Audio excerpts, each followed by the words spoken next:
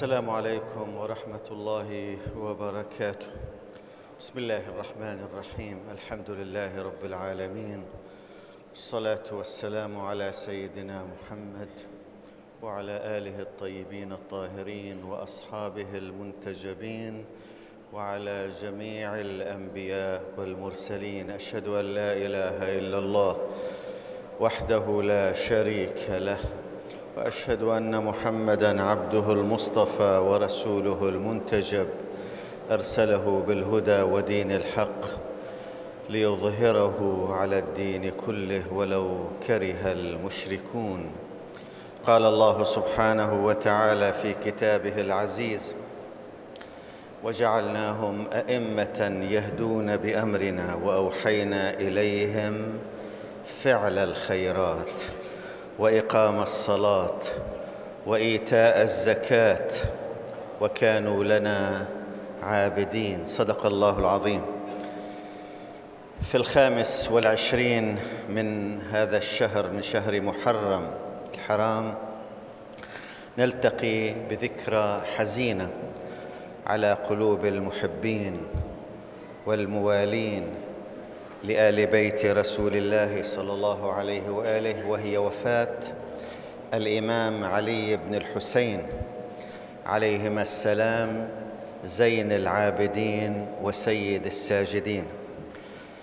هذا الإمام الذي تميز ككل أئمة أهل البيت عليهم السلام بالعبادة كان زين العابدين وبالعلم وبالحلم وبالجود والكرم والبذل والعطاء. كما نعرف جميعا كان يخرج في الليل من بيته حاملا على ظهره الطعام ليوزعه على الفقراء فقراء المدينة ومن دون أن يعرفوه. وقد شهدت واقعة كربلاء. عن مدى صبره بعدما أقعده المرض عن المشاركة فيها حين رأى بأم عينيه أمام ناظريه مصارع أبيه وأصحابه وأهل بيته وما جرى له بعد ذلك في طريق السبي كان مثالا في الصبر في قوة العزيمة والإرادة. وقد عبرت عن شجاعته فهو الذي وقف أمام عبيد الله بن زياد عندما توعده بالقتل لما رأى من الجرأة عنده. قال له آنذاك أبالقتل تهددني؟ يا ابن الطلقاء اما علمت أن القتل لنا عادة وأن كرامتنا من الله الشهادة؟ أي جرأة؟ وهكذا قال ليزيد في كلماته التي خطبها في مجلس يزيد وكان في نهايتها أنه قال له أبشر يا يزيد أنت الآن تشعر بالقوة بالانتصار أبشر يا يزيد بالخزي بالخزي والندامة. وقد استطاع هذا الإمام مع الح... مع عمته الحوراء زينب أن يمنع يزيد كما كان يخطط خطط يزيد أن تجري معركة كربلاء في تلك الصحراء حتى تطمس كل معالمها وكل ما جرى فيها في تلك الأرض وتدفن مع تلك الأجساد التي دفنت فيها. لذلك منع كل ذلك وعمل من خلال كلماته ومن خلال أحاديثه التي كانت تجري طوال طريق السبل وفي المدينة أن يمنع كل ذلك. وأيضا قام بدوره الرسالي كإمام في متابعة الأهداف التي لأجلها انطلق الإمام الحسين عليه السلام بثورته والتي عبر عنها إنما خرجت لطلب الإصلاح في أمة جدي. عمل على أن يتابع هذه المسيرة أن يصلح أمة رسول الله صلى الله عليه وآله أن يعزز في داخل هذه الأمة الحضور أن يكون لها حضور في الدفاع عن هذا الدين في منع ايادي التحريف أن تتسلل إليه في مواجهة الفساد الذي أريد له أن يستشري في ذلك الوقت. وتجلى ذلك في كلماته في مواعظه في مواقفه. أيضا في الدعاء هذا الإرث الذي تركه لنا.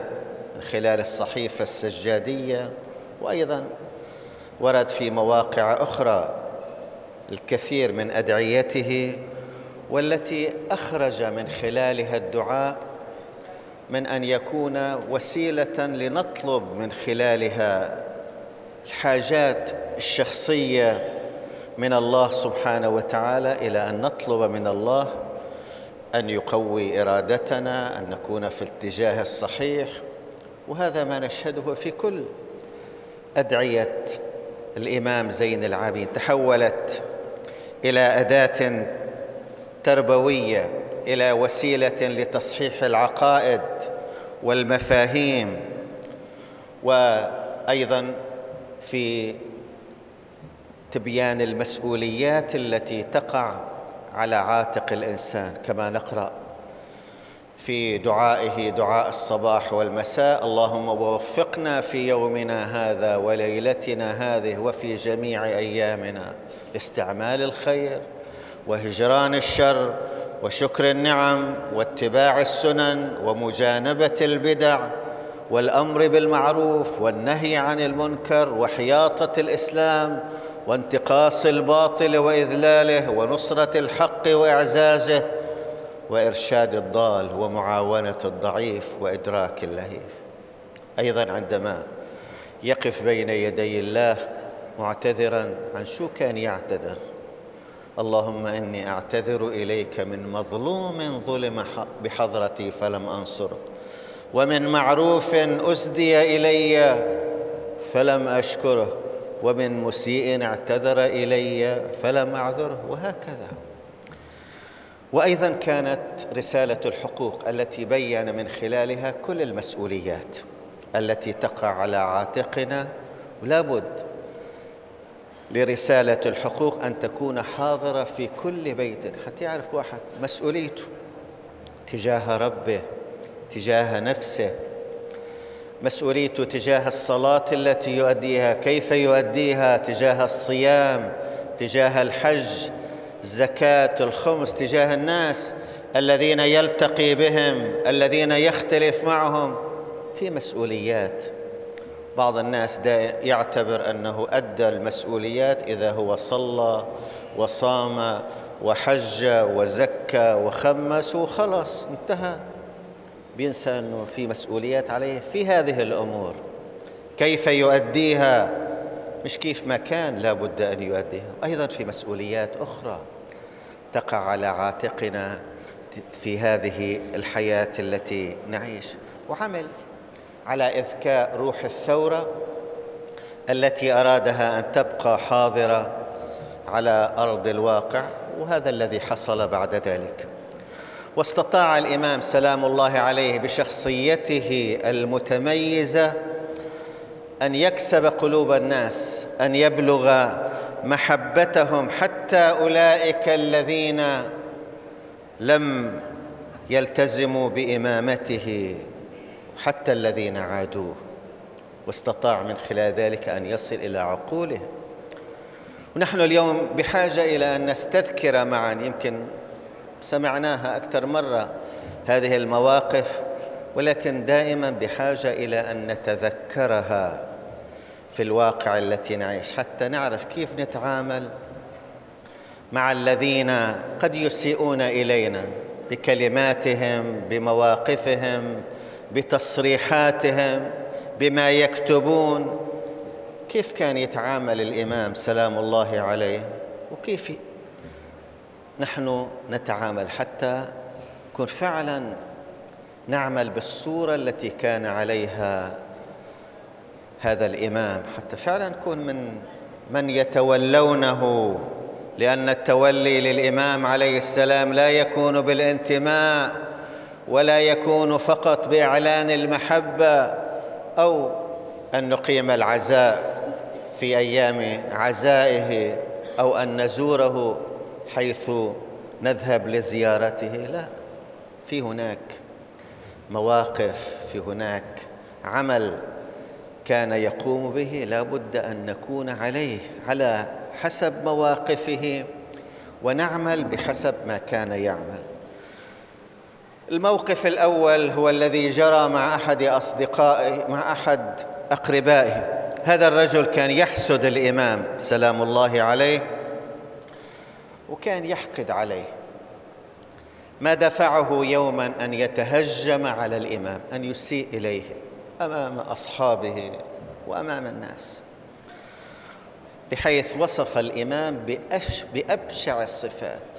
أكيد الإمام ليست فيه أي صفة من هذه الصفات. لما انصرف قال الإمام لأصحابه لقد سمعتم ما قال في هذا الرجل وأنا أحب تعلمكم. أن تبلغوا معي إليه حتى تسمعوا ردي عليه. كيف بدي يرد عليه؟ وهم كانوا لا يشكون أن رد الإمام سيكون قاسيا وقد يستعين بهم حتى يضربوه حتى يسيئوا إليه بأية إساءة يريد من خلالها أن يرد الإمام على هذا الشخص. لكن في الطريق سمعوه وهو يردد الآية والكاظمين الغيظ والعافين عن الناس والله يحب المحسنين. عرفوا أن الإمام لا يريد من ذلك ما كانوا يتمنون. بحب هؤلاء أنه أن يفش خلقهم بهذا الرجل لاساء إلى الإمام إمامهم. وطبعا الإمام زين العابدين كان له شأن وموقع ودائما نستذكر. الفرزدق هذا الذي تعرف البطحاء وطأته والبيت يعرفه والحل والحرم وقتها جاء إلى بيت الله الحرام وأراد آنذاك الخليفة أن يصل إلى إلى الحجر الأسود ما استطاع لكن لما جاء الإمام فرجت له الصفوف. لما سئل هذا الخليفة سئل أنه مين هذا؟ قال لا أعرفه. هون الفرزدق عبر بذلك عن ما عليه هذا الإمام. هذا الرجل لما رأى أن الإمام وصل خرج متوثبا للشر. أعتقد أن الإمام جاي يصفي حساباته معه. الإمام مباشرة لاطفه هدأ من روعه ابتسم في وجهه وقال له لا. يا أخي أنا سمعت ما قلت في. فإن كنت ما قلت في صحيحا أنا الآن أستغفر الله من ذلك. لكن إن كنت ما قلت في هو ليس في فإني الآن أسأل الله سبحانه وتعالى أن يغفر لك.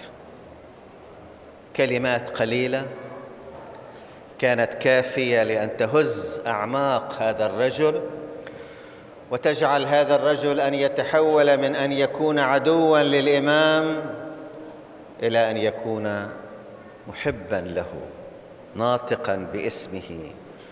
وقال له آنذاك بل قلت فيك ما ليس فيك. أنا. أنا وأنا أحق به. أنا المخطئ وأنا الجاني. أرجو أن تستغفر لي الله سبحانه وتعالى. وصار هذا الرجل كما أشرنا هو من أخلص الناس لهذا الإمام. وهنا طبعا لابد أن نسأل أنفسنا لو صارت معنا هي الحادثة. ونحن الذين نتولى هذا الإمام كيف نتصرف؟ أكيد واحد منا بده يتصرف مثل ما يتصرف كثير من الناس في مثل هذا الموقف وبالتالي بيضربوا يسيئون إليه يشتمونه وبعدين تزداد العداوة والبغضاء وتتوتر العلاقات داخل المجتمع وما بيكون في هناك أي حل بعد ذلك. تبقى مرات المشاكل وتستمر. موقف آخر له. اذا هذا أسلوب الإمام سلام الله عليه. وطبعا هذا هذا الأمر اللي صدر من ما كان عن ضعف كان الإمام في موقع قوة وأصحابه كانوا معه مستعدين. أن يقوموا بما يأمرهم به الإمام سلام الله عليه. موقف آخر له جرى مع أمة له. أمة. يعني عبدا مثل ما بيقال كان في إماء بذاك الوقت وفي عبيد. هذه كانت تحمل ابريقا نحاسيا. ونتيجة سوء تصرفها. وعدم دراية عدم تعامل بالشكل الصحيح مع هذا الإبريق وقع الإبريق على رأس الإمام سلام الله عليه فشجه وأكيد نزل الدم من رأسه. هذه الأمة التي كانت تربت قالت للإمام والكاظمين الغيظ قال ما بحاجة تقول كظمت غيظي قالت والعافين عن الناس قالها كمان مش بحاجة ذكريني ما أنا عفوت عنه قالت والله يحب المحسنين. قال لها اذهبي فأنت حرة لوجه الله.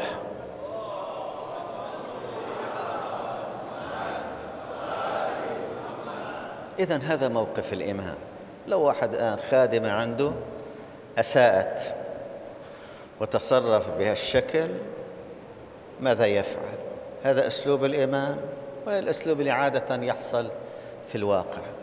نحن دورنا مش ناخذ عبرة مش ناخذ موقف الإمام بس نجل الإمام من خلاله نقيسه على أنفسنا وهذا بده شغل بده يشتغل الواحد على نفسه حتى فعلا يكون عنده هالعزيمة والإرادة أن لا ينفعل وأن يتصرف بالأسلوب اللي بيحول العدو إلى صديق. موقف آخر له.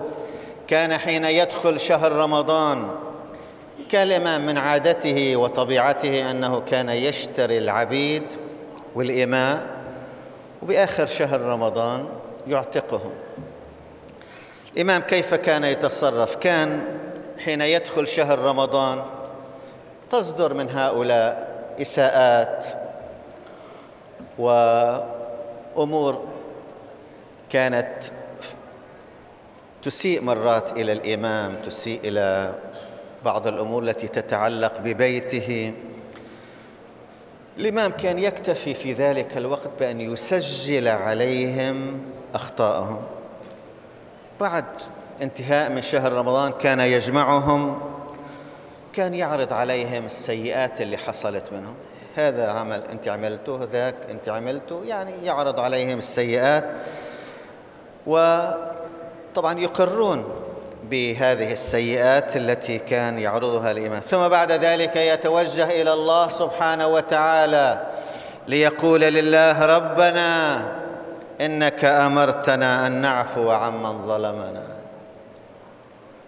وأنا الآن قد عفوت عمن ظلمني ظلم عيالي كما أمرت. يا ربي مقابل ذلك فاعف عنا فإنك أولى بذلك منا. مع أن هؤلاء أخطأوا معه أساءوا معه ثم يقبل عليهم يقول قد عفوت عنكم فهل عفوتم عني؟ حتى كان يعتبر نفسه هو أخطأ بحقهم. ثم كان يقول لهم اذهبوا فقد أعتقت رقابكم رجاء للعفو عني وعتق رقبتي من النار. إذا كان يوم عيد الفطر كان يغدق عليهم من المال ما يغنيهم عما في أيدي الناس حتى يروحوا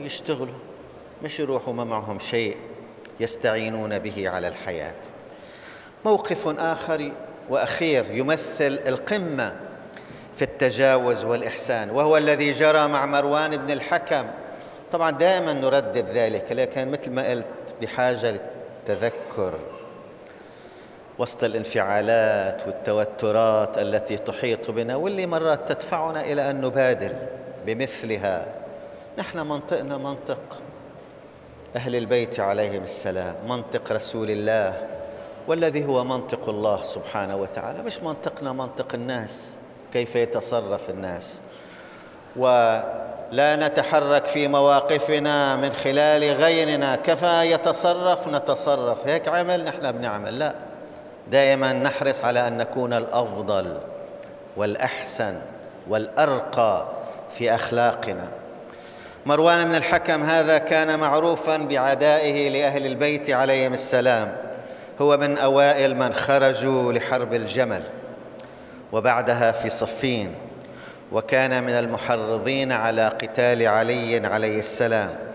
وهو من قال لوالي المدينة يوم استدعى الإمام الحسين عليه السلام حتى يطلب منه البيعه ليزيد. يومها رفضها الإمام رفض البيعه ولكن هذا مروان الحكم قال لا قال لوالي المدينة إن لم يبايع الحسين يزيد لا تدعه يخرج اضرب عنقه. مروان هذا حين ثارت المدينة على الحكم الأموي آنذاك واللي هي ثورة المدينة واللي حصلت فيها واقعة الحرة. وقرر آنذاك أهل المدينة أن يخرجوا كل من هم من بني أمية منها على رأسهم مروان بن الحكم.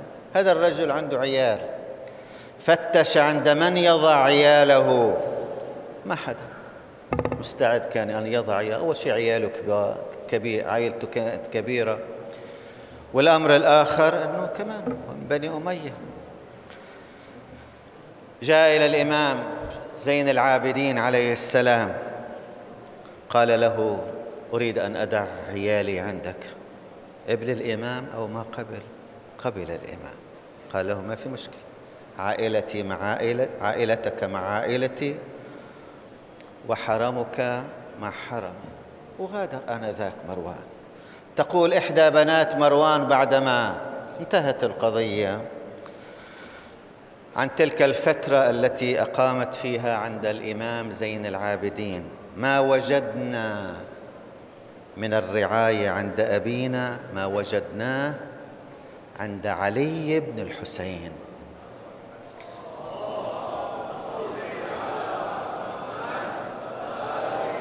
إذا هذا هو الإمام زين العابدين. هي روحيته هي أخلاقيته هي محبته التي كان يغدقها. كسب الإمام من وراء ذلك أكيد كسب كسب عائلة بتمامها. أصبحت محب على الأقل أقل بغضا وحقدا على أهل البيت عليهم السلام. كما رأينا كل ما كل اللي تحدثنا عنه كيف حول الإمام الأعداء إلى أصدقاء. كل هذه المواقف جاءت تعبيرا عمليا عن الآية التي لابد أن تبقى حاضرة لدينا واللي كانت أكيد كان الإمام يعبر عنها. وهي التي دعانا إليها الله سبحانه وتعالى عندما قال ولا تستوي الحسنة ولا السيئة ادفع أمام السيئات ادفع بالتي هي أحسن. فإذا الذي بينك وبينه عداوة كأنه ولي حميم. هذا اللي كان.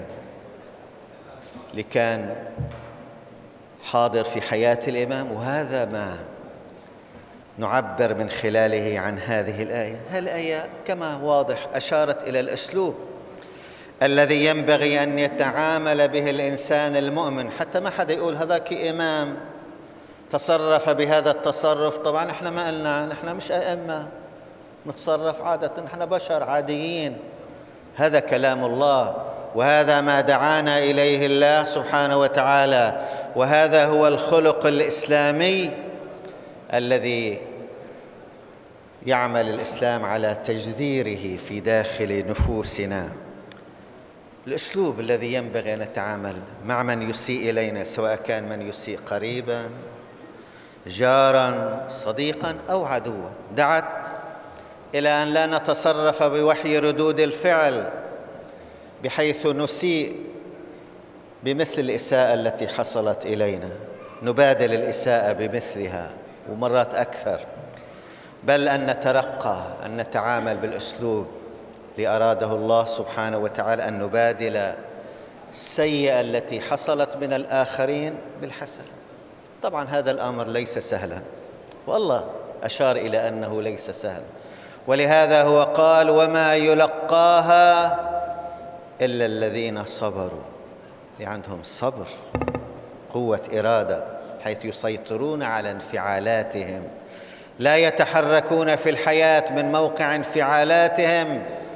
بل بشوفوا كيف ممكن أن ينفذوا إلى قلب الآخر أن ينفذوا إلى عقل الآخر. والله سبحانه وتعالى حتى يشجعنا قال وما يلقاها إلا ذو حظ عظيم. ما هو هذا الحظ؟ أشار إليه الله في آية أخرى وسارعوا إلى مغفرة من ربكم وجنة عرضها السماوات والأرض أعدت للمتقين. الذين ينفقون في السراء والضراء والكاظمين الغيظ والعافين عن الناس. والله يحب المحسنين. أيها الأحبة نحن أحوج ما نكون إلى أن نعتمد هذا الأسلوب أن يكون أساس في تربيتنا لأنفسنا لأبنائنا لمجتمعنا أن نتعامل به حتى مع من يكنون العداء لنا. هيك نتعامل وإذا كان البعض يرى أن هذا الأسلوب قد يجر إلى أن يتمادى البعض في إساءتهم ممن يرون ذلك ضعفا نحن بنقول هذا ليس هو القاعدة. في ناس فعلا هؤلاء إذا أنت أحسنت إليهم وبادلت إساءتهم بالحسنه يمكن يتمادى لكن مثل ما أن هذا مش القاعدة. أكثر الناس لا عكس. الاحسان بيقربهم. إحسن إلى الناس تستعبد قلوبهم تستطيع أن تصل إلى قلوبهم وإلى عقولهم. والإمام كان واضح كمان بهالموضوع. قال هذا الأمر مش مع كل الناس الإمام واقعي. وأما حق من ساءك أن تعفو عنه هذا مطلوب. وأن تحسن إليه. ولكن إن رأيت أن العفو عنه والإحسان إليه يضره لا لازم تأخذ بحقك وتنتصر.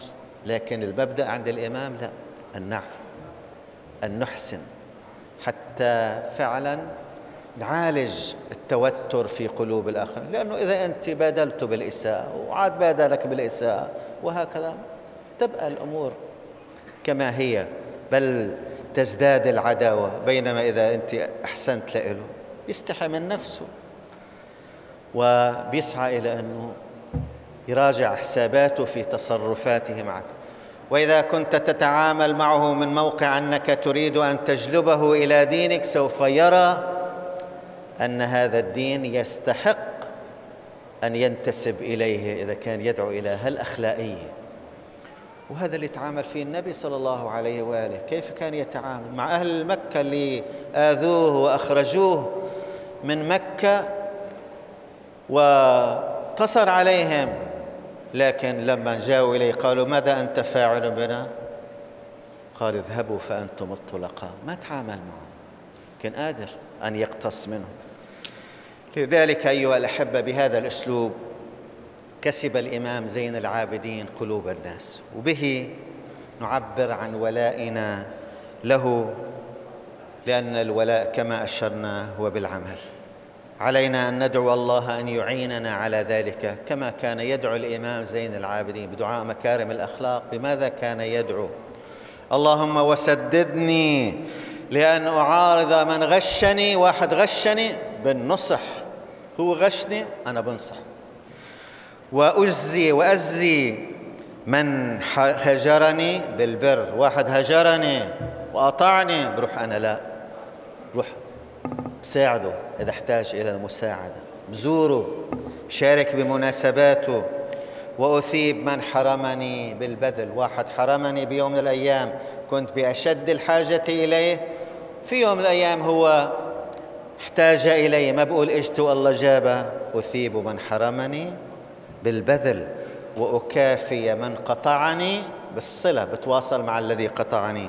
وأخالف من اغتابني واحد اغتابني وعرفت أنه اغتابني إلى حسن الذكر وأن أشكر الحسنة وأغضي عن السيء هي أخلاقنا.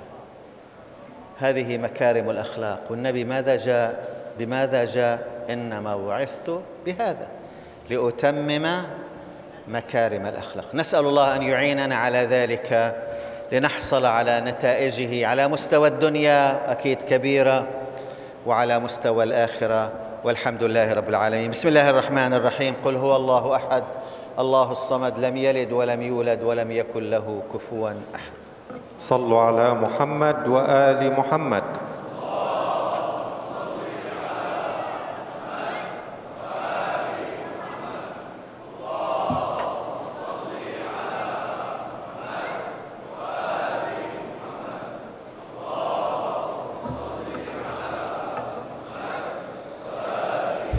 بسم الله الحمد لله أشهد أن لا إله إلا الله وحده لا شريك له وأشهد أن محمدا عبده المصطفى ورسوله المنتجب أرسله بالهدى ودين الحق ليظهره على الدين كله ولو كره المشركون. اللهم صل على محمد عبدك ونبيك وصفيك وحبيبك وخيرتك من خلقك وحافظ سرك ومبلغ رسالاتك وصل على علي أمير المؤمنين ووصي رسول رب العالمين عبدك ووليك وأخي رسولك وصل على الصديقة الطاهرة فاطمة الزهراء سيدة نساء العالمين وصل على سبطي الرحمة وإمامي الهدى الحسن والحسين سيدي شباب أهل الجنة وصل على أئمة المسلمين علي بن الحسين ومحمد بن علي وجعفر بن محمد وموسى بن جعفر وعلي بن موسى ومحمد بن علي وعلي بن محمد والحسن بن علي والخلف الهادي المهدي. حججك على عبادك وأمنائك في بلادك صلاة كثيرة دائمة. اللهم اغفر للمؤمنين والمؤمنات. المسلمين والمسلمات الأحياء منهم والأموات. تابع اللهم بيننا وبينهم بالخيرات. إنك قريب مجيب الدعوات. إنك ماحي السيئات. إنك ولي الأعمال الباقيات الصالحات. إنك على كل شيء قدير. عباد الله أوصيكم وأوصي نفسي بوصية الإمام زين العابدين عليه السلام. وصية مختصرة حين قال اوصي أوصيكم بما أوصاني به أبي الحسين. حين أراد الخروج إلى المعركة يوم العاشر من المحرم. شو كان بيشغل بال؟ الإمام الحسين عليه السلام. رايح على المعركة. الشهادة. ما الذي كان يشغل باله؟ قال له يا بني إياك. وظلم من لا يجد عليك ناصرا إلى الله. ابتعد عن ذلك. احذر أن تكون في هذا الموقع أن تظلم ناس الذين لا يستطيعون أن يواجهوا ظلمك أن تأخذ منهم حقوقهم إياك وظلم. من لا يستطيع أن يواجهك إلا إلا أن يدعو الله سبحانه وتعالى إلا الله هو فقط الناصر في تلك الحالة. وهذا ما ينبغي أن نحرص عليه لأنه مرات الواحد لأنه قوي ولأنه عنده إمكانات عنده سلاح عنده مال أو لأنه يملك موقعا يستغل موقعه مش لخدمة الناس ليساعد الناس ليساعد المظلومين حتى يظلم الناس. حتى يعتدي على الناس. وهذا من أفحش الظلم ومن أصعبه موقفا عندما يقف بين يدي الله. أن يظلم الرئيس الذين تحت من تحته من المرؤوسين لأنه هو الرئيس أو المدير لأنه هو المدير وبيده أمر قرار بقائهم أو فصلهم. بيستغل موقعه في هذا الشأن. أو رب العمل أيضا يظلم عماله لأنه هو رب العمل. وما حدا بيقدر عليه. طبعا الله اللي بيقدر عليه أكيد. أو المعلم طلابه أو الزوج زوجته لأنه الزوج هو بإيده قرارها وقادر يطلقها فيظلمها. أو الزوجة زوجها كمان يستغل موقعها عنده. أو الأب أولاده الذين لا يستطيعون أن يواجهوا ظلمه لأنه هو اقوى منهم وكمان حياتهم آه، بحياتهم بحاجة إليه في شؤونهم وأمورهم. هذا أفحش الظلم هذا أصعب الظلم. عندما يقف المظلومون بين يدي الله يطالبون بحقهم هؤلاء سيواجهون أصعب المواقف. بهذه الوصية نعبر الاخذ بها نعبر عن حبنا وعن ولائنا. كل ما شعر الإنسان بقوته عليه أن يكون أكثر تواضعا أكثر حرصا على المظلومين أكثر سعيا في نجدتهم في الوقوف معهم. هذا اللي ينبغي أن نكون. وطبعا بذلك نستطيع أن نواجه التحديات لأن التحديات لا نواجهها إلا بالتقوى.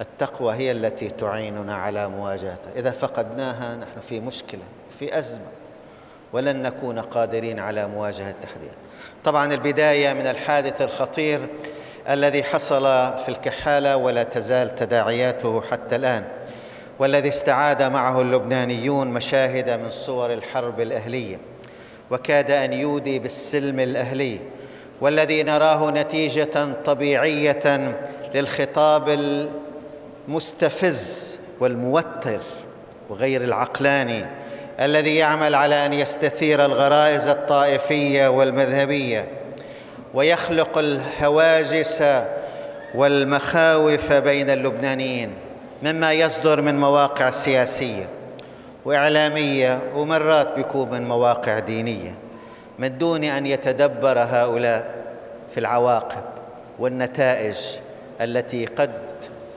يحصدها كل ذلك على أرض الواقع. قد يكون سببا في الفتنة. ونحن أمام ما جرى لابد أن ننوه بالدور الحكيم الذي قام به الجيش اللبناني والذي أدى إلى وأد هذه الفتنة ومنع تداعياتها الخطيرة.